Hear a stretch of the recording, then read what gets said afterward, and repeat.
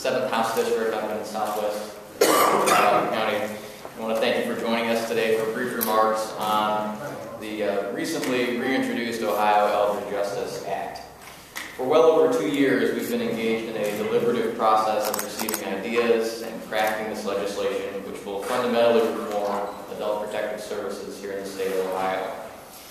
I'd like to highlight three of the most significant reforms in the areas of defining elder abuse, reporting elder abuse, and establishing in statute an elder abuse commission.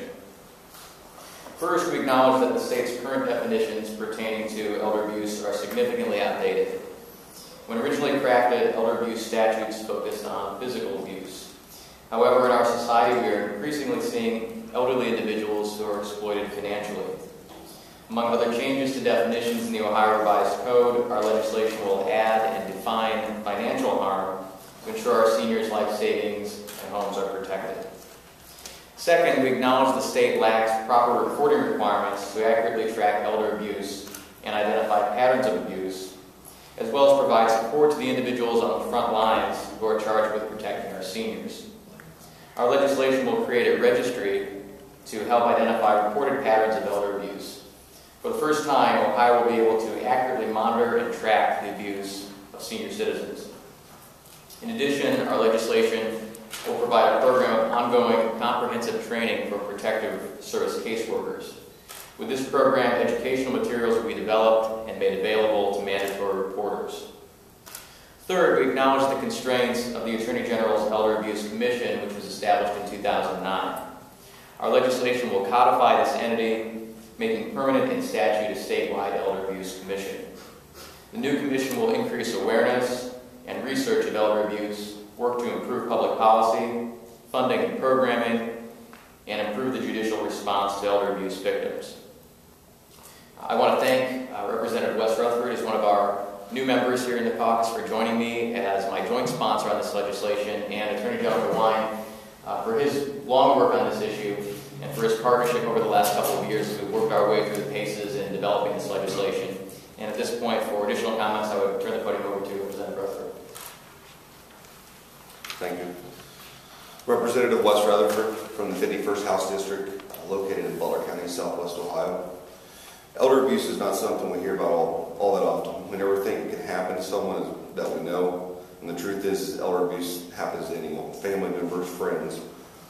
Elder abuse can happen anywhere, next door, to your local nursing homes, hospitals, in the privacy of their own homes. Across the state, older Ohioans are being victimized for violence, manipulation, and fraud. And we don't hear about it too often. It's because victims of elder abuse are reluctant to report abuse.